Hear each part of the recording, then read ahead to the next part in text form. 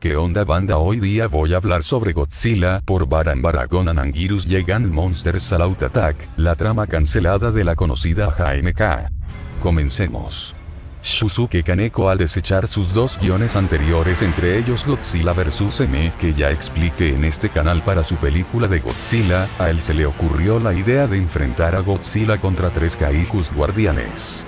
Kaneko eligió que Baran, Anguirus y Baragon serían los tres guardianes que lucharían contra Godzilla, y estos tres unirían fuerzas contra él en un enfrentamiento final en Yokohama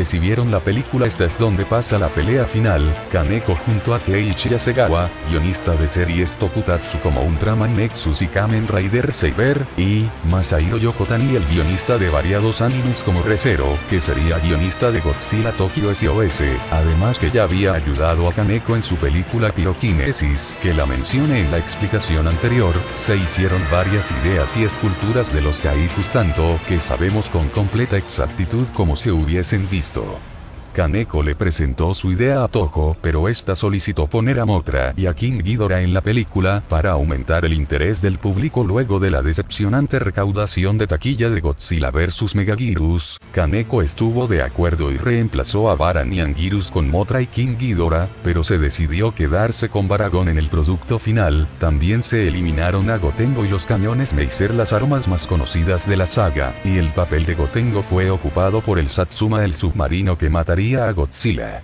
El papel de Baragon también se redujo considerablemente, porque él participando en una sola batalla contra Godzilla solo para ser asesinado a diferencia de la idea original que todos los guardianes se reunirían en Yokohama solo para que Motra y Ghidorah participaran en la batalla final. La historia del proyecto era una secuela directa de la original del 54, al igual que Godzilla vs. M, todo igual solo que en esta ocasión como la antes mencionada Godzilla vs. M Godzilla este sobreviviría al destructor de oxígeno, como en la original Godzilla se fusiona y es revivido por las almas vengativas de la Segunda Guerra Mundial, el monstruo regresa para devastar Japón en 2001. Haciendo que los tres monstruos guardianes el monstruo del viento blanco, Baradaki. El monstruo del rojo vivo, Baragora y el monstruo dorado de aliento de hielo, Angiras, se despiertan para luchar contra esta amenaza, Baragora, sería rebautizado como Baragón por el gobierno japonés, y todo es igual al guion, este se enfrenta contra Godzilla en Wakudani, pero al final no muere como en la versión final, Baradaki y Angira, renombrados como Baran y Anguirus, respectivamente, se enfrentan a Godzilla cuando llega a Yokohama, para que se les une Baragón, los tres monstruos guardianes combinan sus ataques de hielo,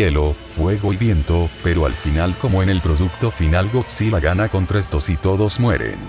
pero sus esfuerzos no fueron en vano, ya que Godzilla estaba herido descansando, llega el Gotengo para entrar en el cuerpo de Godzilla, haciéndole varios hoyos en su interior para que su aliento atómico acabe con él por dentro solo, dejando su corazón que al final este volvería a latir donde una posible secuela, que nunca llegaría como en la película final, y bueno banda ¿qué opinan sobre esta versión cancelada de JMK? ¿Qué otro tema quieren que explique? Díganmelo abajo en los comentarios, adiós.